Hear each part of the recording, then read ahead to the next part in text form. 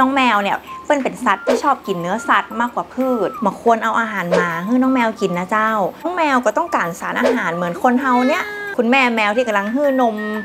ลูกๆเนี่ยนะเจ้า เปิ้นจะต้องการโปรตีนมากกว่าแมวในช่วงอายุอื่น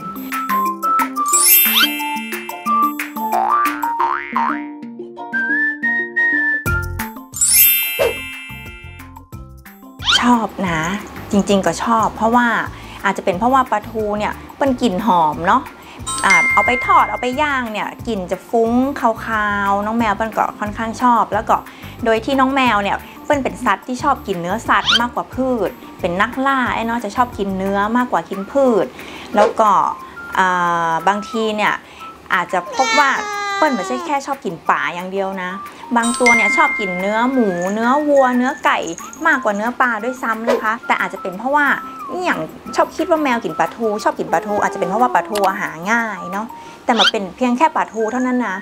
ป่าชนิดอื่นเนี่ยน้องแมวเป็นก็มักเหมือนกันนะเจ้า แต่ก็จะมีข้อที่ฝากไว้นิดนึงว่า เวลาจะเอาป่าให้น้องแมวกินเนี่ยขอเอาเป็นแบบว่า ต้องไซส์กลางออกเปิ้ลก่อนเนอะเพราะว่าเปิ้ลมาแจ้งว่าเปิ้ลไซส์กลางได้เองนะ หรือถ้าเกิดเปิ้นมาไซ้ก้างได้เองเปิ้นกินก้างเข้าไปเนี่ยค่อนข้างอันตรายขนาดเลยนะเจ้า เพราะว่าก้างเนี่ยมันจะแหลมเนาะมันอาจจะไปปักทางเดินอาหารพวกกระเพาะแล้วก็ลำไส้ได้ เป็นเรื่องเจ็บหัวให้คุณหมอขนาดเลยที่จะต้องปาน้องแมวแล้วก็มีก้างติดออกมาในลำไส้เนาะอันนี้ต่อไปก็คืออยากจะรณรงค์ให้ไซส์ก้างให้ก่อนไซส์ก้างป่าให้ก่อนที่จะให้น้องแมวกินป๋าเนาะ จริง ๆ น้องแมวก็ต้องการสารอาหารเหมือนคนเฮาเนี่ยเหมือนน้องหมาเนี่ยเนาะเนาะลูกเนาะ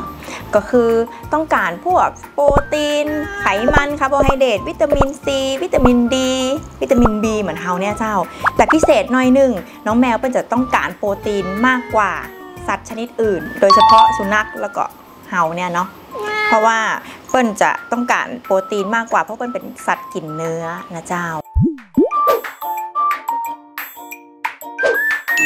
อาหารที่เหมาะสำหรับน้องแมวเนี่ยจะแตกต่างกันตามช่วงอายุไปนะเจ้า อย่างน้องแมวตัวน้อยๆเนี่ยนะเจ้าน้องแมวลูกแมวหรือว่าคุณแม่แมวที่กำลังตั้งท้องเนาะที่กำลังตั้งท้องเนาะกับคุณแม่แมวที่กำลังให้นม